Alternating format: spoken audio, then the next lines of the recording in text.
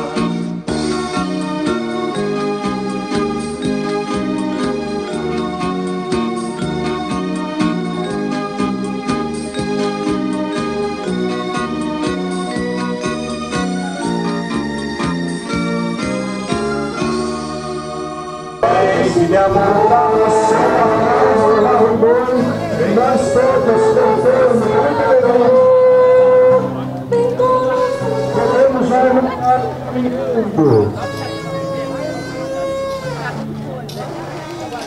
bonito é o carro cantar, né? O carro canta, roda.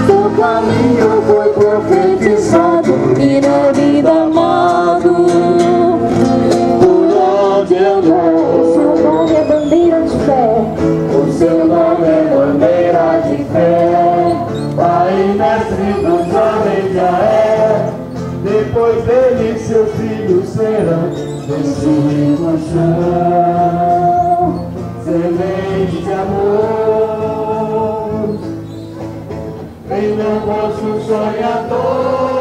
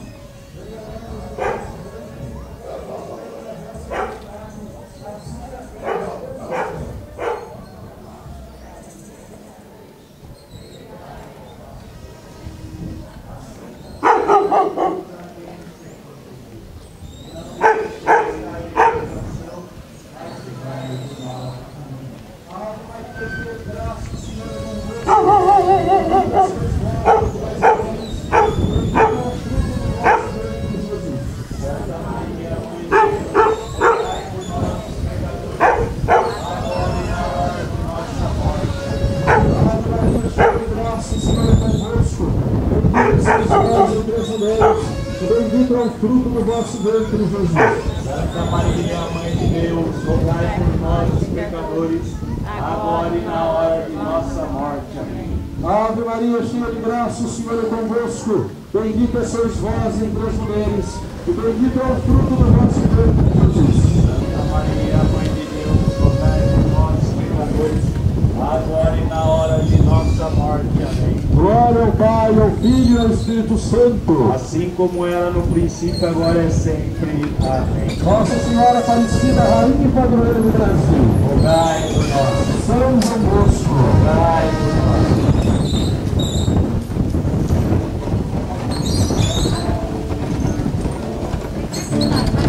Da mãe de Deus e nossa, sem pecado, concebida.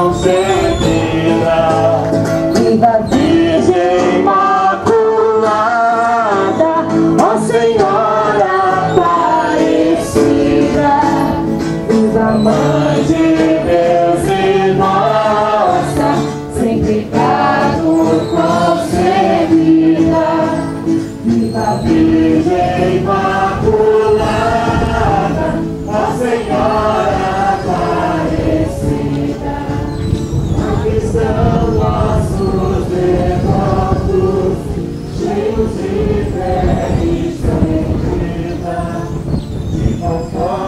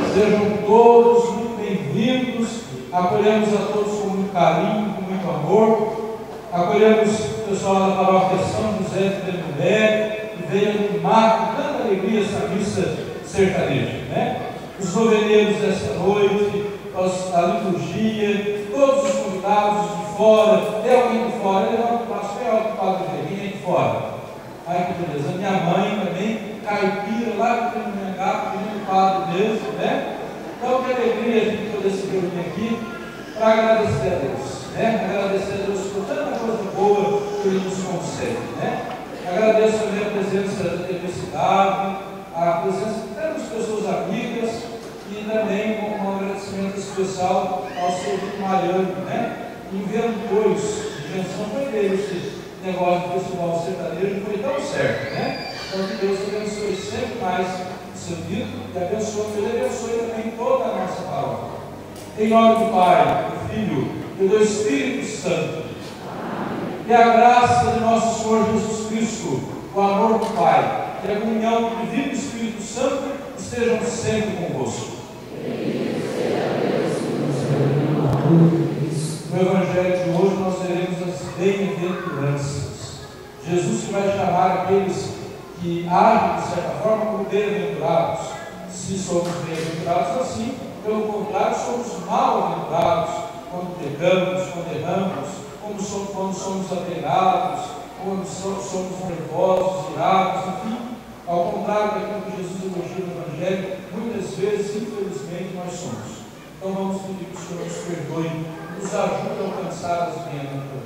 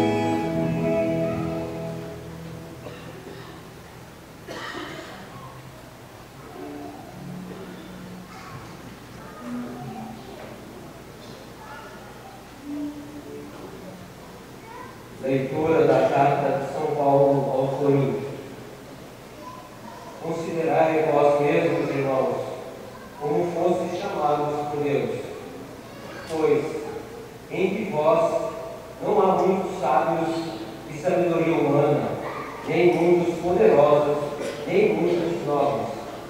Na verdade, Deus escolheu o que o mundo considera como estúpido, para assim confundir os sábios. Deus escolheu o que o mundo considera como fraco, para assim confundir o que é forte. Deus para o mundo é sem importância e desprezado, o que não tem nenhuma serventia, para assim mostrar a iniquidade, porque é considerado importante, para que ninguém possa gloriar-se diante dele. É graças a ele que vós estáis em Cristo Jesus, o qual se tornou para nós, da parte de Deus, sabedoria, justiça, santificação e libertação, para que, como está escrito, quem se gloria, gloria-se no Senhor. Palavra do Senhor. O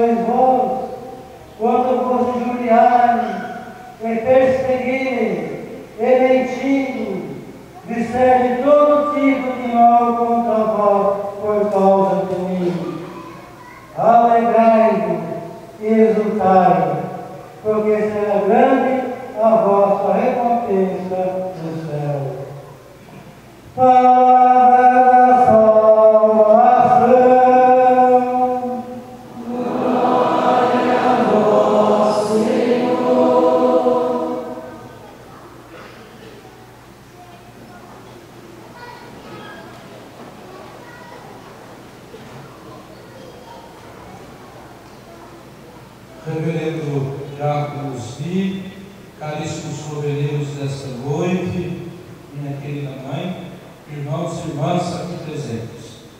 Celebrar hoje esse domingo do tempo comum, esse quarto domingo do tempo comum, nos remete também às leituras próprias dessa liturgia, em que a primeira leitura já nos fala da importância da simplicidade. Né? Nós ouvimos dizer a importância de ser simples.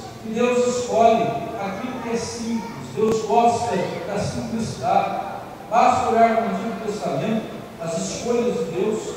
E depois, quando Ele escolheu se encarnar, quando Ele escolheu vir até nós, Ele poderia muito bem ter escolhido né, um palácio, nascer um rei, uma rainha, ser um príncipe.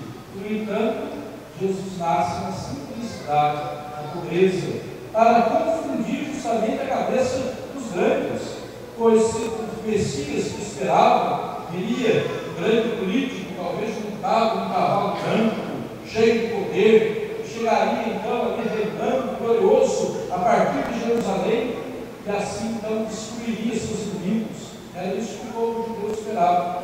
Mas de repente ele vê na simplicidade, quando montou alguma coisa, montou um jumentinho, né, que nós celebramos no Ramos, entrou em Jerusalém, um jumento, na simplicidade. E basta olharmos para trás da vida de Jesus inteira. Nunca buscou grandezas, mas contrário, sempre buscou a simplicidade. Quando quiseram coroar o rei, ele fugiu, saiu daquela cidade e foi para outra. Porque não mostra para nós que a verdadeira alegria, a verdadeira, o verdadeiro sentido da vida está no desapegar. Quanto mais nós nos apegamos, quanto mais nós queremos para si, mais vazios nós ficamos. O orgulho, ele corrói por dentro, quando a gente acha que a gente deve, acho que muita gente deve conhecer o Mariana, né? Ela convite de dizia assim, fulano se sente o bichão da goiaba, né? Ou seja, é todo garboso, todo cheio de si, todo arrogante. Por isso nos leva aqui, não nos leva a nada. Nós ouvimos na primeira leitura muito bem explicado, muito bem falado sobre isso. Deus escolhe simples para confundir a cabeça dos grandes. Ou seja, Deus gosta da simplicidade. Então nós, como cristãos, católicos, seguidores de Jesus, nós temos que procurar ser simples. É tão boa a simplicidade que nós estamos celebrando esse festival sertanejo, lembrando as músicas raiz, tudo na simplicidade, lembrando também a raiz nossa, muita gente tem certeza, se a gente fosse fazer uma reportagem muita gente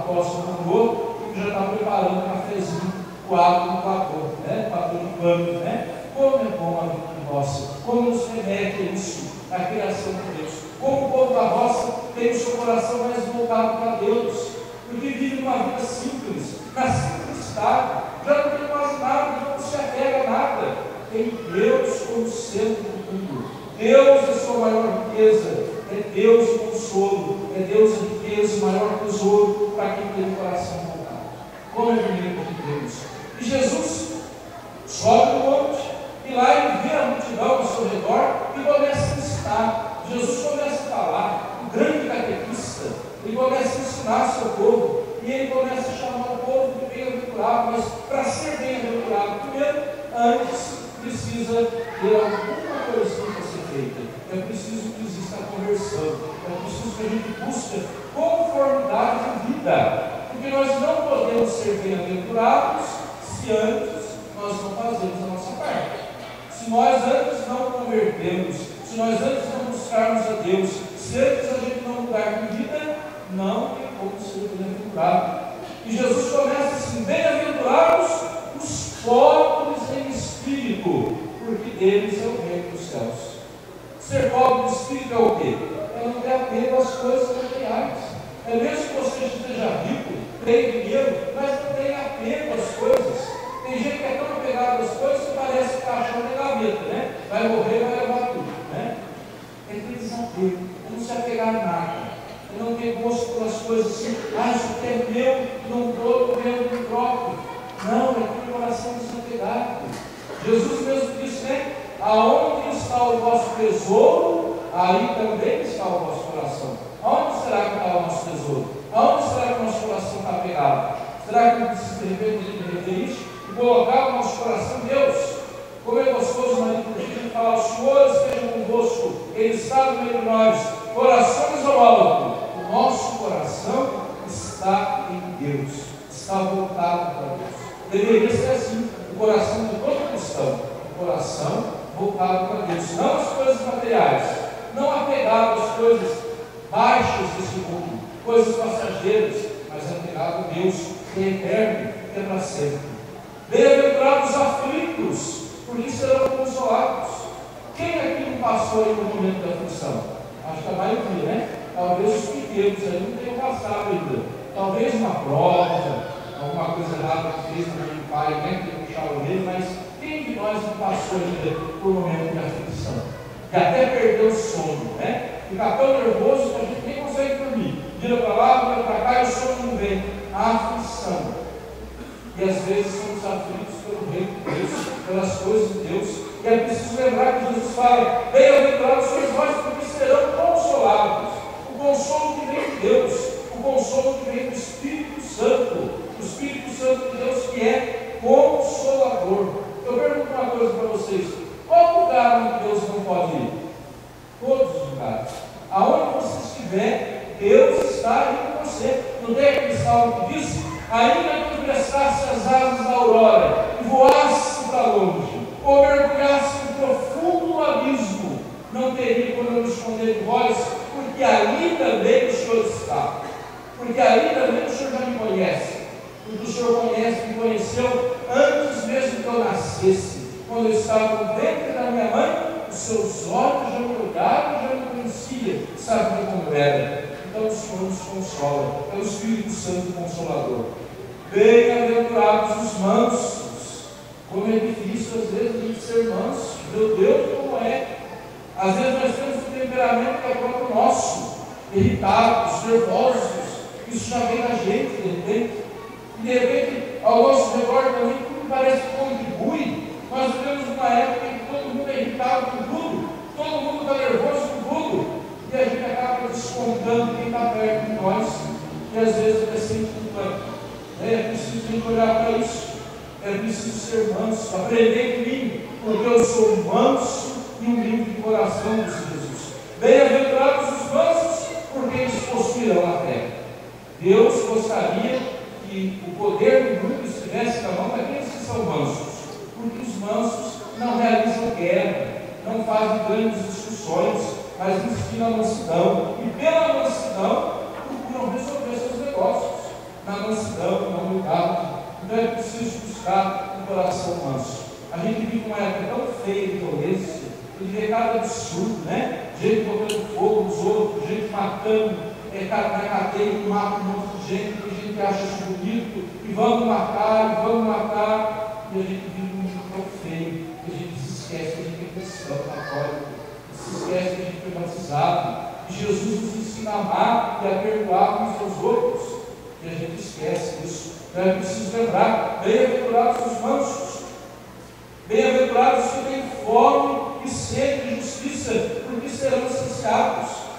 A gente fica tão bravo, né? Quando a gente vê na televisão tanta injustiça, gente que tem dinheiro que não sabe o que faz, colar, um vestido não sei quantos milhões, e tem gente passando fome, tem criança que não tem o que comer, não tem o que vestir, morre de fome porque não tem leite para beber. Isso é injustiça, isso incomoda, isso revolta, isso deixa a gente triste. Nós temos fome e sede de justiça. Mas um dia nós seremos saciados. Um dia a justiça há de acabar. Bem-aventurados os misericordiosos, porque alcançarão misericórdia. Você já precisou alguma vez do perdão de alguém? Já passaram por isso? De repente a gente, nossa, eu fiz uma coisa errada, eu preciso pedir perdão fulano, ciclano, né? Mas será que vai me perdoar, né? Ou então se a gente faz um pecado muito grave, a gente fica com medo de Deus e a gente pensa, será que Deus vai me perdoar? O pecado foi tão grande, é claro que Deus é sempre misericordioso, nos perdoa sempre. Mas é preciso a gente ter misericórdia também com os outros, saber perdoar os outros, se colocar no lugar dos outros. Porque se eu quero ser, ter que os outros tenham misericórdia comigo, é preciso ter misericórdia também dos outros. Ser misericordioso. Saber que assim como eu posso errar, como o outro errou comigo, eu também posso errar. Assim como eu preciso do perdão dos outros, eu preciso também dar o meu perdão. É preciso então buscar essa misericórdia. Bem-aventurados os puros de coração, porque verão a Deus. Mundo tão malicioso, tão maldoso, né? Em que pornografia, sexualidade, está tão banalizado, falta de pureza no coração. Como que as pessoas querem ir para o céu se só falam em imundice, né? Só falam que não presta, a televisão está cheia de porcaria, tanta porcaria que nos envolve, é preciso guardar o nosso coração puro. São Domingo Sábio, aquele coroinho que foi coroinho do rosto, ele guardava o olhar sempre embaixo. Ele nunca olhava uma coisa decente, ele tinha medo de olhar. Tinha perguntado para ele, Domingos, por que você vive com o olho assim, abaixado, não olha essas coisas de repente? Ele dizia assim, eu quero guardar os meus olhos puros para ver Jesus e Maria no céu. Será que os nossos olhos são dignos de olhar para Deus? Será que nosso coração é puro? Porque só os puros de coração verão a Deus. Bem-aventurados os que promovem a paz, porque serão chamados filhos de Deus. Tem gente parece que nasceu para infernizar. Não é tudo isso? Cutuca aqui, cutuca dali, fofoca, fala mal o outros, manda recado, xinga, provoca, perturba, faz inferno na vida do outro. Isso pode. Ser cristão pode ser assim. Menos ainda entrar na fila receber a comunhão, se de repente lá em casa, na família, eu faço inferno, faço fofoca. Jesus fala aqui, bem-aventurados os que promovem a paz.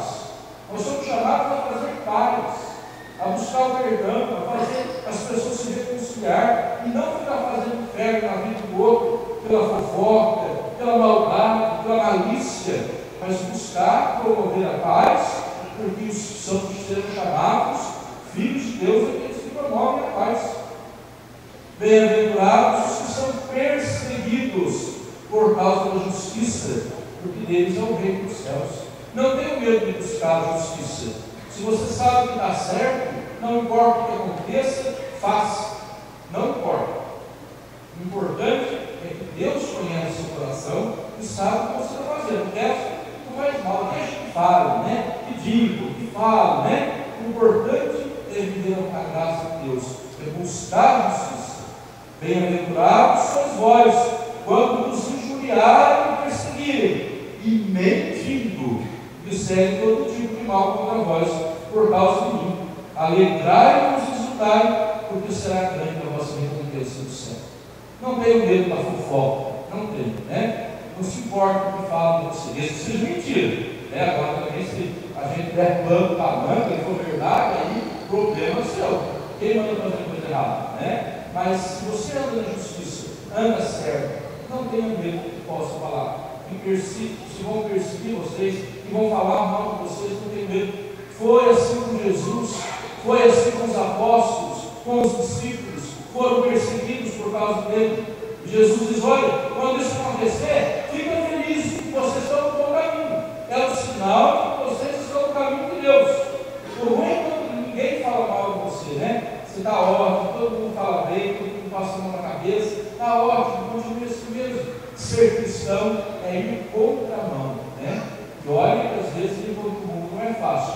Ser católico, andar direito, às vezes exige muito de nós, e às vezes nós somos taxados como antigos, como bobos, como trouxas. Não tenham medo disso. Pelo contrário, se alegrem quando falarem mal de você por causa de Jesus. Se falam mal de você por causa de Jesus, não tenham medo, né? Vocês estão no caminho certo. Bem-aventurados somos nós que procuramos buscar a Deus. Bem-aventurados somos nós que respeitamos a Deus e sua lei. Bem-aventurados somos nós que amamos a Deus e procuramos buscar a Deus com o nosso coração puro, sincero. Pecados nós temos, mas se pecamos, nós levantamos, pedimos perdão e buscamos a Deus e Ele vai nos fortalecendo. E assim nós vamos vivendo na alegria de ser cristão olhando para o nosso padroeiro, São João Bosco, o santo da alegria, o santo da juventude, o santo que amou Nossa Senhora, né? E a frase do tema principal da nossa festa, jamais será iludido aquele que confia em Maria, ou quem confia em Maria, jamais será iludido. Que nós possamos aprender com São João Bosco a olhar para Nossa Senhora com carinho de filhos, a olhar Nossa Senhora como mãe, confiar nela como filho confia na mãe. Olhar para Nossa Senhora e saber que colocar a nossa vida nas mãos dela é colocar a nossa vida na mão de Jesus, porque ela nos a Ele, ela faz com que nós busquemos cada vez mais ter o coração parecido com o seu Filho, mãos e humilde. E assim que a gente possa buscar a mansidão, possa buscar a humildade sempre na nossa vida. Que a gente não queira outra coisa não ser a mansidão e a humildade. Achei muito bonito ontem quando ele dizia que quando Jesus estava falando o sermão da, das bem-aventuranças, né? Hoje ele estava lembrando da sua mãe. Enquanto ele fazia o sermão, ele pensava certamente em sua mãe, porque ela foi pobre espírito, foi mansa, promoveu a paz. Então Jesus certamente refletia no seu coração aquilo que ele viu em casa.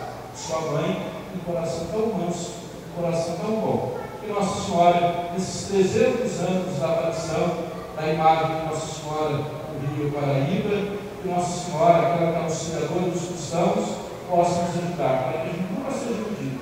É só a gente olhar lá na Aparecida e a gente ver tanta gente que alcançou tanta graça, porque nunca foi iludido aquele que confiou na intercessão e na proteção de Nossa Senhora. Creio em Deus Pai.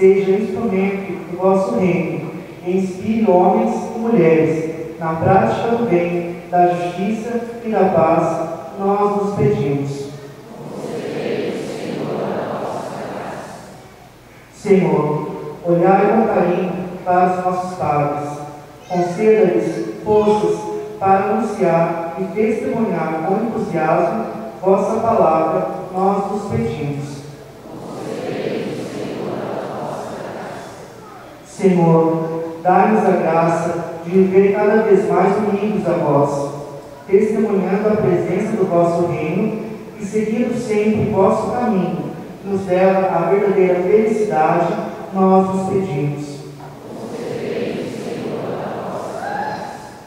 Senhor, fazei que nossas comunidades sejam bem-aventuradas pela prática da caridade, da acolhida, da misericórdia da solidariedade.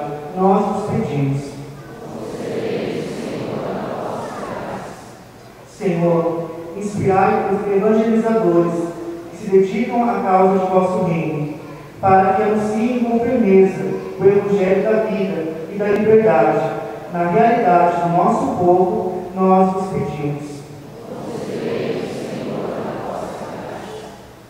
Rezemos pelo povo da roça, pelo povo caipira, pelas plantações, animais, pelas criações, para que nunca falte na nossa mesa o alimento de cada dia, e que nunca falte o trabalho, a saúde, a paz e a harmonia. Rezemos ao Senhor.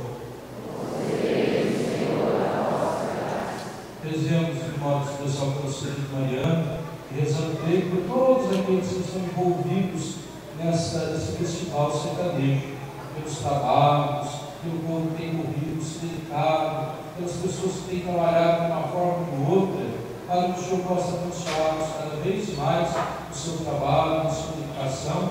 Rezemos ao Senhor. Atendei, Pai, com bondade e misericórdia, os pedidos que confiantes nos apresentamos por Cristo nosso Senhor. Senhor,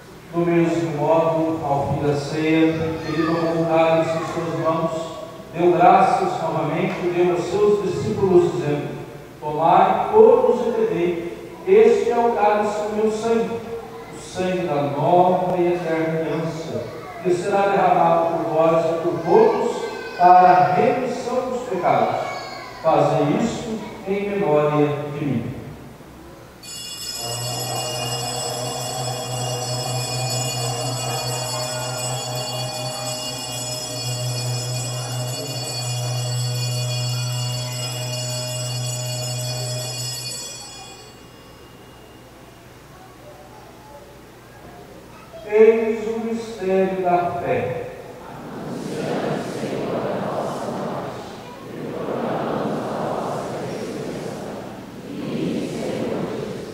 Celebrando agora, Pai, a memória do vosso Filho, da sua paixão que nos salva, da sua gloriosa ressurreição e da sua ascensão ao céu.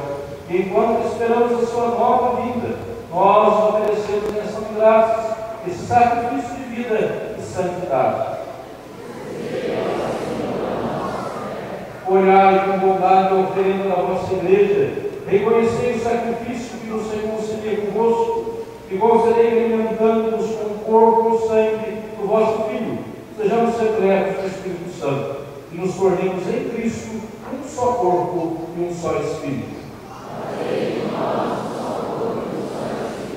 Que Ele faça de nós uma oferenda perfeita para alcançarmos a vida eterna com os vossos santos. Com a Virgem Maria, Mãe de Deus e Auxiliadora nossa. Com São José, seu esposo, os vossos apóstolos e mártires, São João Bosco, Santa Cecília e todos os santos, que não cessem de interceder por nós na vossa presença. E agora nós suplicamos ao Pai, esse sacrifício da nossa reconciliação e seja a paz e a salvação no mundo inteiro. Confirmai na e vossa igreja, enquanto nesse mundo vosso servo, o Papa Francisco, o nosso bispo Wilson, com os bispos do mundo inteiro, o clero e todo o povo que conquistastes. Atendei as preces da vossa família que está aqui na vossa presença. Reuni vós, Pai misericórdia, todos os vossos filhos e filhas dispersos pelo mundo inteiro. Acolhei com bondade o vosso reino os nossos irmãos e irmãs que partiram desta vida. De modo especial, hoje celebramos por Rosalina, que faleceu ontem e hoje foi sepultado pela manhã. Fala sepultado Nossa Senhora das Graças. Também por Maria Antunes da Silva, sétimo mês do seu crescimento. Os nossos parentes, os nossos amigos, os nossos parentes lá da roça, vieram, os falecidos, e de todos os que morreram na vossa amizade. Unidos a eles, esperamos também nós, saciarmos eternamente a vossa glória por Cristo, Senhor nosso. Por ele dais ao mundo todo bem e toda graça.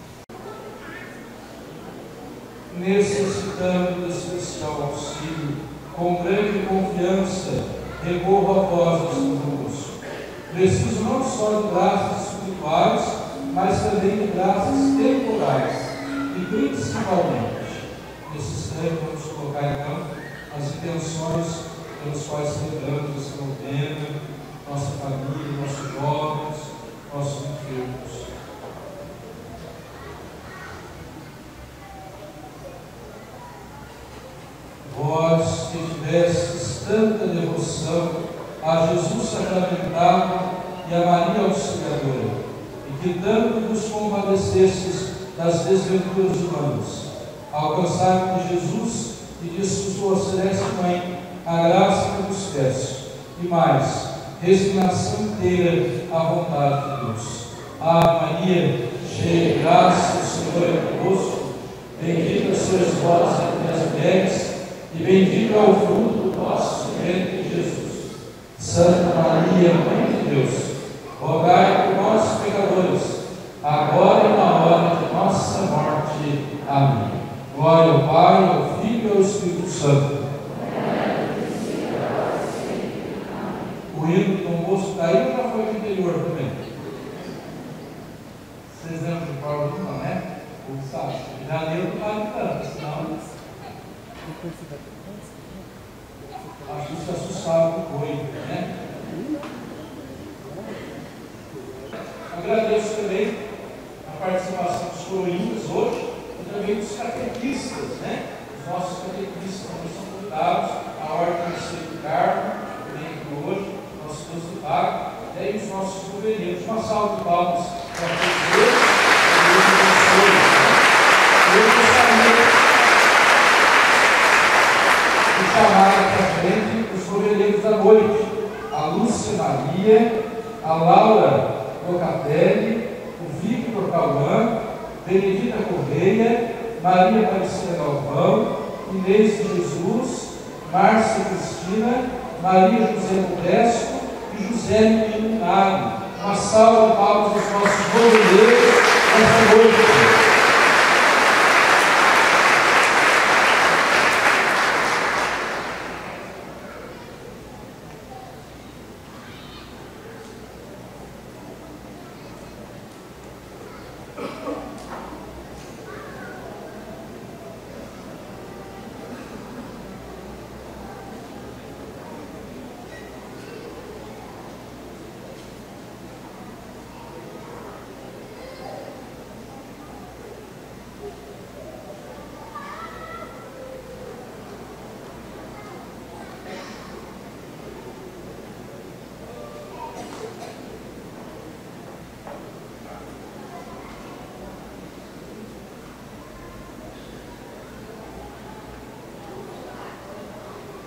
Podemos cantar o convosco agora? Dá para você? Vamos lá?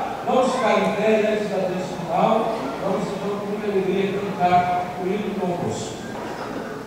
Não, não é esse? Não é. E agora? Volta para a redenção da cena. Meu irmão, procura lá, eu gostaria de agradecer ao seu Dito Mariano, meu seu Dito. Obrigado pela ideia, né? aí do Festival Sertanejo, que Deus abençoe. Uma salva de palmas para o seu Dito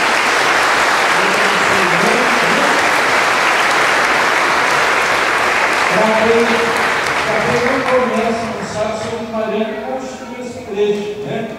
Além de construir a igreja, e também de festival, dá umas ideias boas.